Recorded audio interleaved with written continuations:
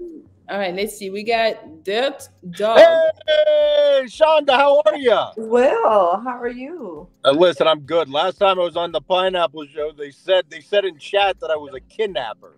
I don't kidnap people. They were just clouding on me and said I can't. I don't They do wrong that. for Hey, that. I got to tell you, I, I'm interested to hear about you, but can I tell you a joke first? Mm-hmm. All right, you ready? It's good. You know BB King, the blues mus- musician, right? Okay. Yeah, so he's married 30 years, and his wife said, "Listen, I want to do something for BB real nice." So she Mhm. goes to the she goes to the tattoo parlor, right? And she tells the tattoo artist to put B on one cheek and B on the other cheek. BB walks in the door, right? She drops her pants and bends over and says, "What do you think?" You know, and she's and BB's like, "That's fine, but who's Bob?" Pineapples. But it was great to meet you. Ugh. Did you get it?